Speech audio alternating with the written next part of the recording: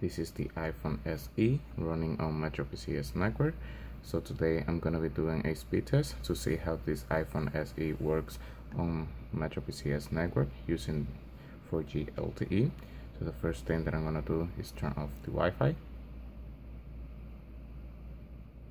And as you can see here it says lte so now the app that i'm going to be using it is called speed test. Allow okay let's begin.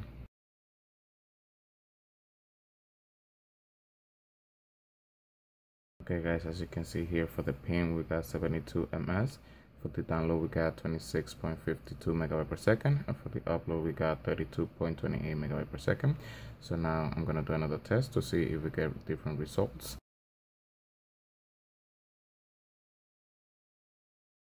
Okay guys as you can see here for the pin we got 67 ms for the download we got 58.23 megabyte per second. And for the upload we got 27.95 megabyte per second. As you can see on the iphone se on the metro pcs network it works very fast. If we tap on results you can see the two different results. So this is it guys. Thank you for watching my video. If you like my video please click the like button.